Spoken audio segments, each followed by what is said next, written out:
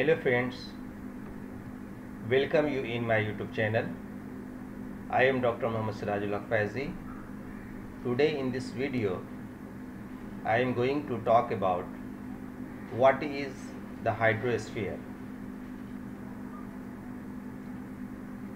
So, the hydrosphere includes all water on or near the earth's surface.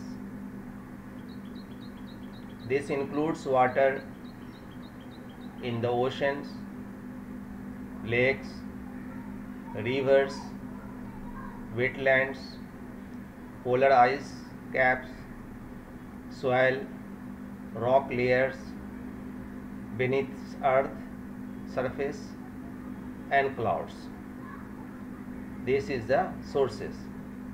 Water in the oceans, lakes, rivers, wetlands, polar ice caps, soil, rock layer beneath earth's surface and clouds.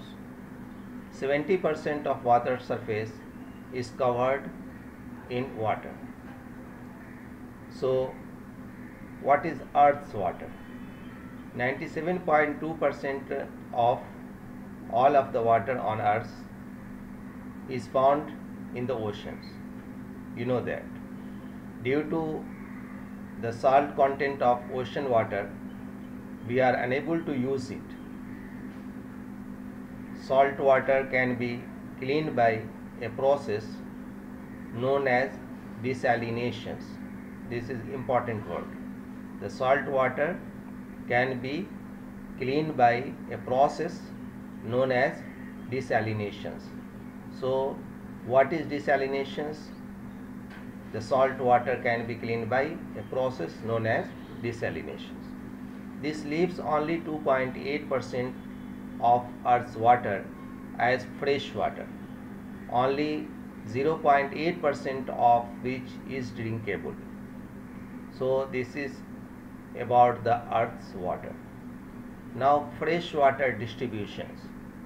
The 2.8% of fresh water is divided into glaciers and ice caps, groundwater and surface water. Look at here. This pictorial diagram showing glacier and ice cap and this is groundwater. So, surface water distributions. The 0.0 percentage of surface water is divided into lakes, soil, atmosphere. This refer to water vapor in the air. Atmosphere means this refer to water vapor. Water vapor, you know water vapor in the air. And stream. So this is the distributions pictorial diagrams. The previous percentage refer to all the world's water but it can be adjusted to reflect percentage based on a 100% scale. So fresh groundwater, lakes, soil moisture, wetland, river, ice and snow and permafrost. This is the distributions of water. Now I am going to talk about water cycles. So next video I will make on water cycle.